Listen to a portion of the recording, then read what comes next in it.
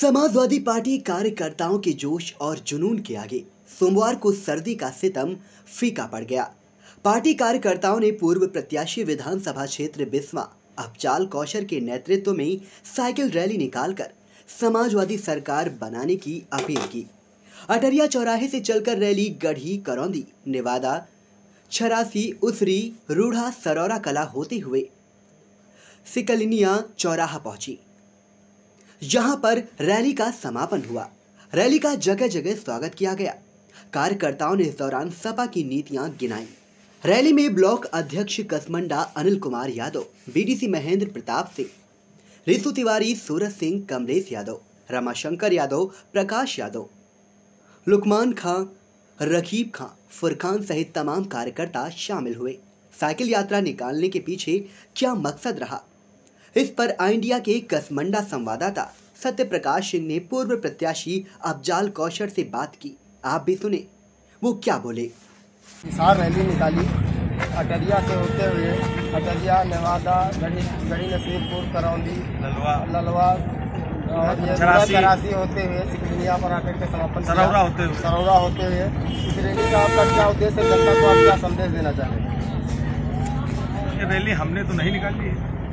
ये समाजवादी पार्टी के जो यहाँ के कार्यकर्ता हैं, कसमंडा ब्लॉक इन लोगों ने कार्यक्रम बनाया कि कम से कम कुछ हाथ पैरों में तेज़ी आ जाए क्योंकि झाड़ा है। तो हमने कहा, भाई ठीक है, साइकिल यात्रा निकालते हैं। और साइकिल यात्रा के माध्यम से, रैली निकालने के माध्यम से हमने जन जागरण का काम किया। भारतीय जनता पार्टी की जो कुरीतियाँ रही हैं, जो नीतियाँ रही हैं, सरकार ने जो जनमानस के खिलाफ अत्याचार, अनाचार दमन का काम किया है।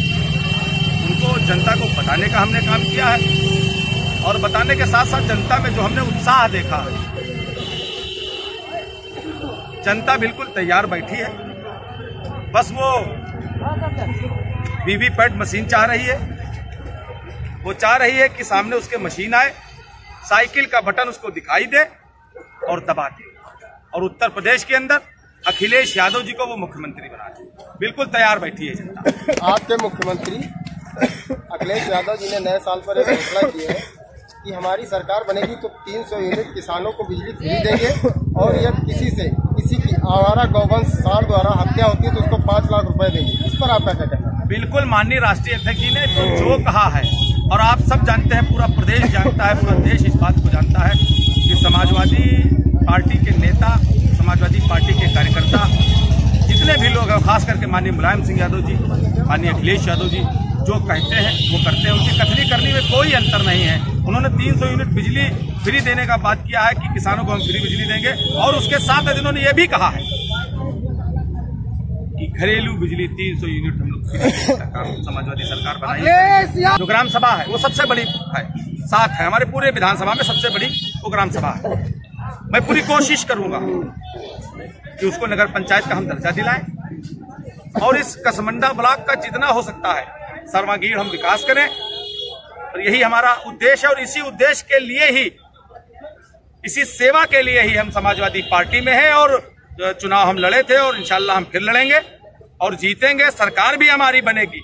और सरकार बनेगी, अखिलेश जी मुख्यमंत्री अगर बनेंगे वही बनेंगे ही मुख्यमंत्री, क्योंकि जनता का उत्साह और जनता जिस तरह से उमड़ के सामने आ रही है, आज एक हमने छोटा सा बुलावा दिया था और जिस तरह से लोग आए हैं, अपनी मोहब्बतों से हमारे नवाजा है, अपनी मोहब्बतें हमको दी हैं, और उनका इतना मैं आभारी हूँ कि मैं आपसे क्या बताऊँ कि एक बूंद भी पेट्रोल मुझसे नहीं लिया है, एक रुपया भी मुझसे नहीं लिया है, और इससे पहले जो भारतीय जनता पार्टी ने रैली की थी, यहाँ के स्थानीय विधायक ने तीन तीन सौ रुपए पेट्रोल देने का काम किया था और दो सौ रुपये उन्होंने और दिया था। अच्छा इस क्षेत्र के हज़ार किसान वह हज़ारों रोज़गार रोज़गार सेवकों पर मतलब भविष्य पर ताला पड़ा हुआ है। यहाँ की चीनी मिल बंद पड़ी है। इसके विषय में आपका क्या कहना बिल्कुल ये चीनी मिल बंद पड़ी है और शायद आपको याद होगा कि 2012 के चुनाव में जब माननीय अखिलेश यादव जी रथ लेकर के आए थे उस वक्त वो प्रदेश अध्यक्ष थे और कमलापुर कसमंडा जो ये कमलापुर है उस बाग में आए थे। उस रथ पे मैं भी सवार था और माननीय अखिलेश यादव जी ने ऊपर से ये कहा था कि अगर सरकार हमारी बनती है तो पूरा प्रयास करेंगे कि कमलापुर की जो मैग्ना फैक्ट्री इसको चालू कराएँगे।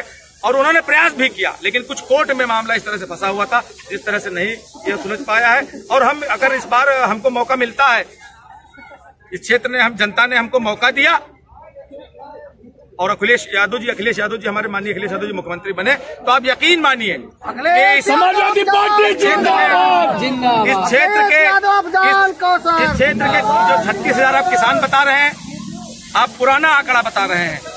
आप यकीन मानिए कि गन्ना फैक्ट्री पूरी हमारी हंड्रेड परसेंट कोशिश रहेगी ये चालू हो और छत्तीस हज़ार नहीं, बल्कि जितने इस क्षेत्र के लोग हैं और इस क्षेत्र के अलावा लोग हैं, वो अब गन्ना इस फैक्ट्री में लाएँ और उनका विकास हो और इस क्षेत्र का।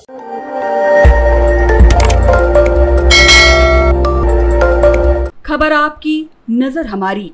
देखते रहिए आई इंडिया।